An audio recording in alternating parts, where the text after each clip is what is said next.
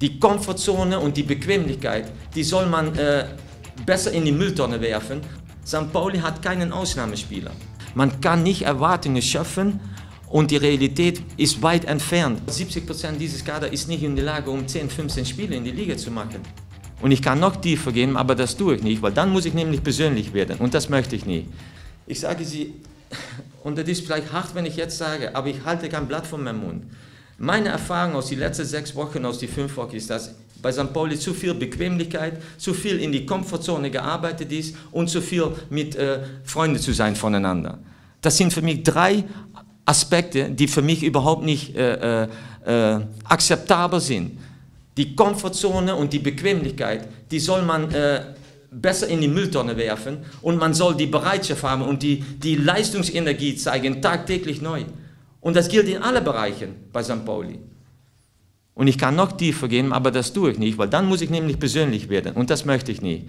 Ich möchte das Große und Ganze erklären. Wenn wirklich wieder so viele Ausfälle zu beklagen sind, dann kann es so mal sein, dass St. Pauli wieder auch mal ein Jahr erlebt, wo man gegen den Abstieg spielen muss.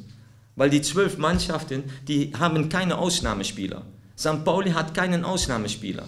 Ich weiß gut, wie ich gekommen bin, habe ich auch gesagt, hatte ich einen Traum um innerhalb von zwei Jahren mit St. Pauli aufzusteigen, ist es für St. Pauli unmöglich, um bei die ersten vier zu stehen in dieses Jahr. Das sage ich ganz deutlich.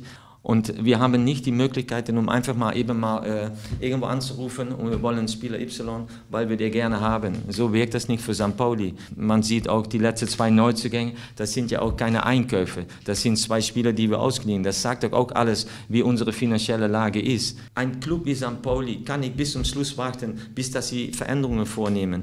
Und äh, die letzten sechs Wochen, dass ich hier kam, habe ich ja äh, die interne Situation kennengelernt. Und ich habe auch äh, ein paar Minuten vorher gesagt, dass der ganze Club in die Professionalisierung eine höhere Bereitschaft und eine höhere Intensität am Tag muss liegen. Und das gilt in allen Bereichen. Ob das der Scouting-Abteilung ist, ob das das NRZ ist, ob das äh, äh, der Profibereich ist. Man kann nicht Erwartungen schöpfen, und die Realität ist weit entfernt von das, was man sich vielleicht nach außen, äh, wie man sich nach außen äußert und was man vielleicht dafür äh, letztendlich einsetzt. Aber diesen Kader gibt die Erwartungshaltung nicht, nicht her.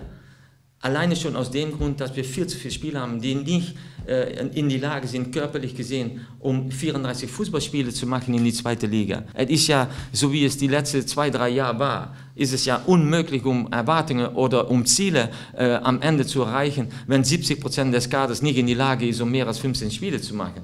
Da muss man sich mal an den Kopf greifen, warum man dann Ziele ausspricht und Erwartungshaltungen schöpft, wenn man ständig den Kader äh, äh, auswechseln muss von Spieltag zu Spieltag, mit nicht ein oder zwei Ausfällen. Es sind ja am Ende waren es 14 Ausfälle.